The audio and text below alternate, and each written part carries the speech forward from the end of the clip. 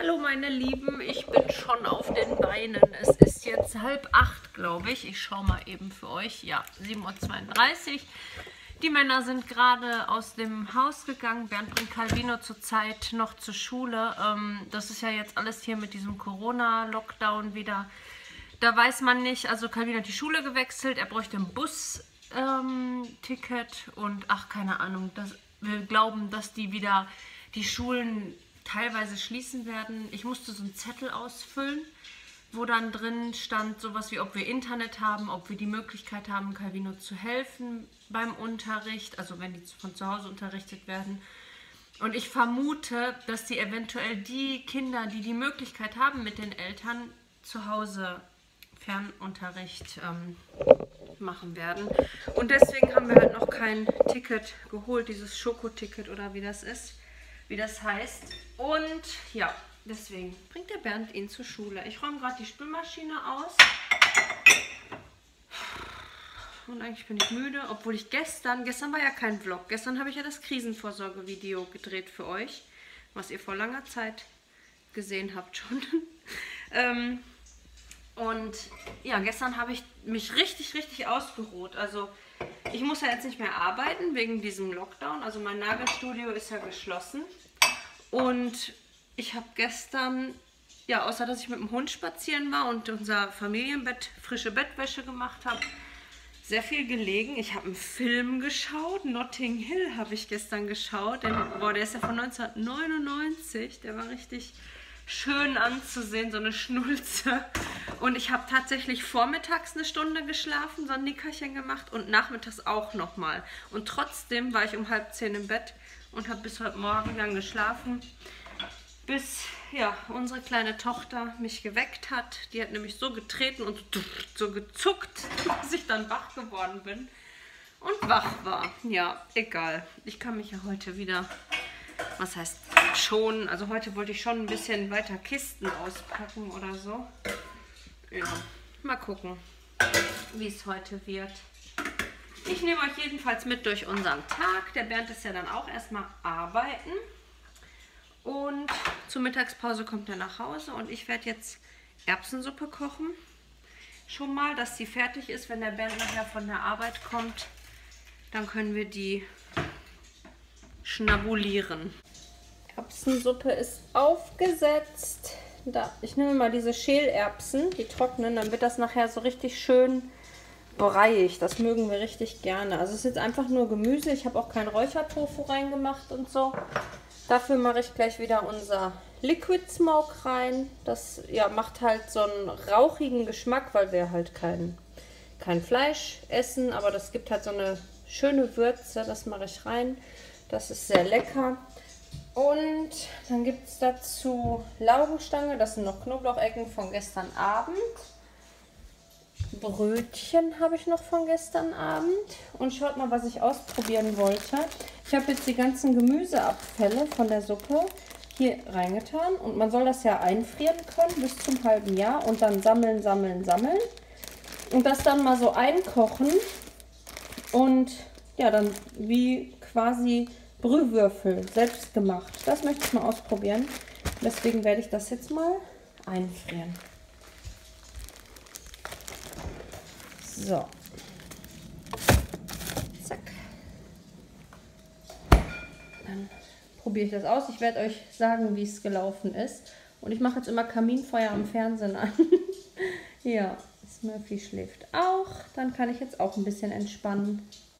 Ihr habt mir mal den Tipp gegeben, dass man hiermit halt, also ich sollte damit hier das Treppengitter polieren, dass es wieder schön wird. Und ich habe jetzt mal unseren schrömmeligen Wohnzimmertisch damit eingeölt oder poliert oder wie auch immer.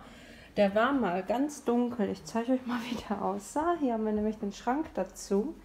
Seht ihr den Unterschied? Der ist halt richtig genutzt, ne? Und hier hatte auch Smurfy gekaut da.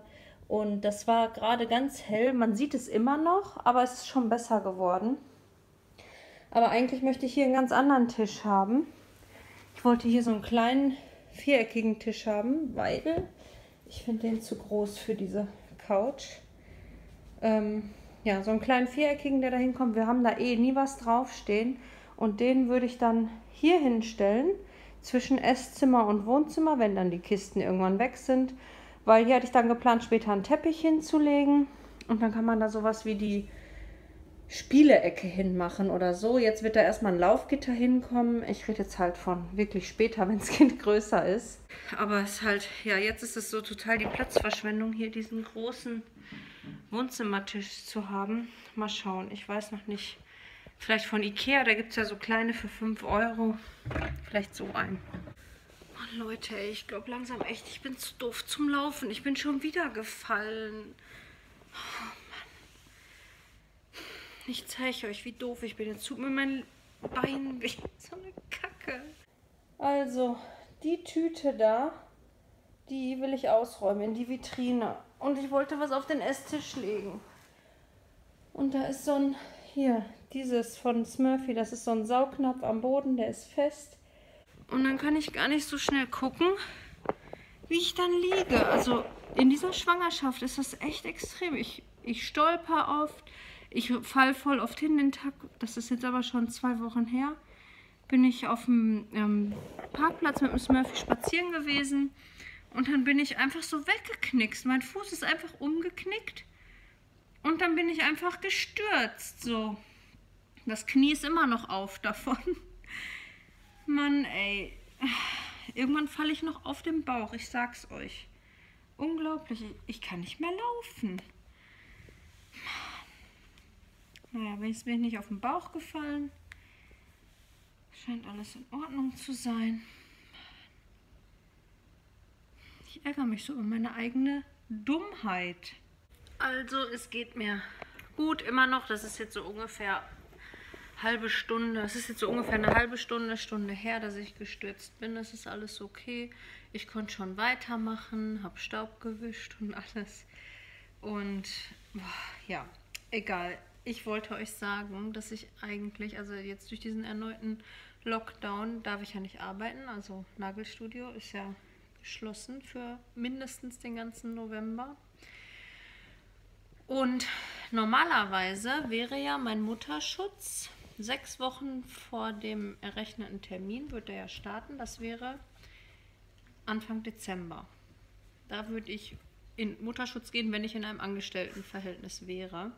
Ich hatte jetzt gesagt, dass ich dann bis Weihnachten auf jeden Fall weitermache, ähm, wenn es mir gut geht. Ähm, ich, man weiß ja jetzt noch gar nicht, ob wir wieder aufmachen dürfen im Dezember und das alles, also das steht ja alles noch gar nicht fest. Die sagen ja erstmal bis Dezember, den ganzen November ist geschlossen. Aber ich muss sagen, das ist jetzt der zweite Tag, wo ich zu Hause bin. Ähm, gestern habe ich nur gechillt und heute, ja, ich komme halt zu total viel, ne? Und das ganz entspannt. Ich setze mich immer zwischendurch hin, trinke was, lege die Füße kurz hoch und dann mache ich wieder 10 Minuten, Viertelstunde weiter. Ähm, und das ist so, ja, also ist klar, ist das eine finanzielle Einbuße, dass das Nagelstudio geschlossen ist, aber es ist schon, ja, erleichternd. Ich weiß nicht, wie ich das sagen soll. Ich will jetzt auch nicht faul rüberkommen, ne? dass ich sage, boah, das ist ähm, schön, dass ich jetzt nicht mehr arbeiten muss. Wisst ihr, wie ich das meine einfach? So, es ist so entspannt. So, ich kann mir das alles einteilen hier zu Hause. Ich habe jetzt schon Essen gekocht. Ich habe Staub gewischt. Wenn ich dann gleich mit dem Smurfy gehe, dann mache ich hier den Staubsaugerroboter an. Das äh, muss ich ja nicht selber machen. Das ist immer ganz praktisch. Also ab und zu gehe ich natürlich auch mit dem normalen Sauger hier durch. Weil man so die Ritzen und Ecken, das kriegt der Roboter jetzt nicht so hin, hinterm Sofa und so. Aber dieses tägliche Saugen hier unten, wo die meisten Hundehaare sind, Biegelglitzer, sage ich immer, das macht täglich der Roboter und dafür ist er wirklich super. Also bin ich total dankbar, dass ich den geholt habe, obwohl der nur 80 Euro so gekostet hat. Das ist so ein günstiger einfach, aber der nimmt mir echt viel Arbeit ab hier. Ja, gut. Jetzt ist meine Pause. Ich bleibe jetzt noch ein bisschen sitzen. Und dann ist auch gleich die Waschmaschine schon fertig. Dann kann ich die Wäsche aufhängen. Es ist schon abends mittlerweile. Das sieht man, glaube ich, dass es halt sehr viel dunkler ist als sonst. Und ich war halt mit dem Smurfy eine große Runde spazieren. Dann war Mittagspause, dann war Bernd hier. Wir haben zusammen gegessen alle und so. Und ach so, dann bin ich noch zum Laden gegangen mit Smurfy und dann waren wir da halt bei Bernd, haben den besucht. Und jetzt bin ich gerade nach Hause gekommen und ich zeige euch mal, was ich gemacht habe. So, also hier waren ja noch mehrere Kisten. Jetzt sind noch zwei. Die kommen hier in den HWR, müssen die ausgeräumt werden. Aber die kann ich halt erst ausräumen, wenn dort im HWR ähm, ja, ein paar mehr Regale angebracht sind. Deswegen stehen die noch da. Und ich habe Wäsche gemacht.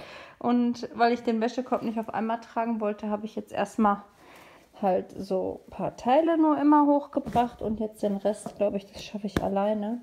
Und dann kann ich auch, also das schaffe ich dann auf einmal halt diesen Korb jetzt zu tragen. Und dann kann ich jetzt den Wäschekorb mit nach oben nehmen.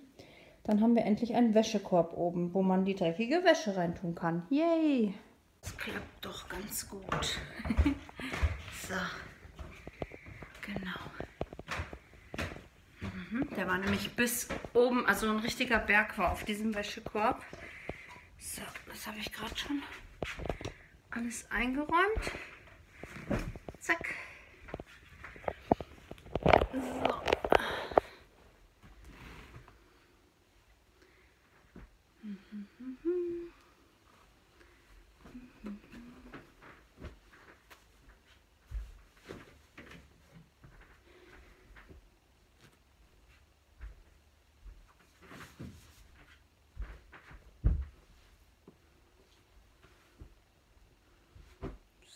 Gehört Calvino.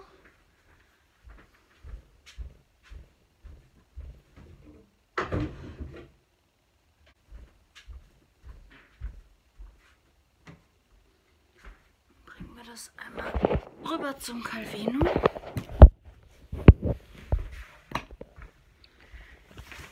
Hier. Hier ist es immer noch sehr, sehr chaotisch. Aber das ist auch nicht Calvinos Zimmer, das ist halt nur hier dieses Büro. Oder später halt vom Baby das Zimmer. Und jetzt sind halt, ist halt nur hier Calvinos Kleiderschrank. Ja. Und den Wäschekorb habe ich jetzt hier hingestellt, vor den Spiegel. Diese ganzen Sachen hier, die müssen alle auf den Dachboden. Und die sammeln wir erstmal hier. Und dann irgendwann muss Bernd die da hochbringen. Ja, haben wir einen Wäschekorb. Und jetzt gehe ich Butterbrot essen. ich habe Hunger. So, ihr Lieben, es ist schon verhältnismäßig ganz spät. 21 Uhr, so spät beende ich normalerweise nicht meinen Vlog. Im Hintergrund hört ihr, wie Calvino sich die Zähne putzt. Ja.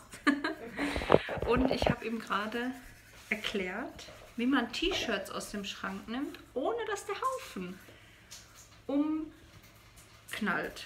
So. Ja. ja. Ach so, ja. Ne? Die Dusche macht gut. Ja, die Dusche tropft auch noch. Calvino war auch duschen. Da war er ganz erstaunt, der Calvino jedenfalls. Ja, ich wusste nicht, dass man nee. Ja, woher soll man das auch wissen, wenn man das noch nie ne, gemacht hat? Jetzt weiß er das. Und ähm, ja, wir gehen jetzt alle schlafen. Und ich wollte das Video nur noch beenden. Und ich danke euch fürs Zuschauen und bis zum nächsten Mal. Tschüss.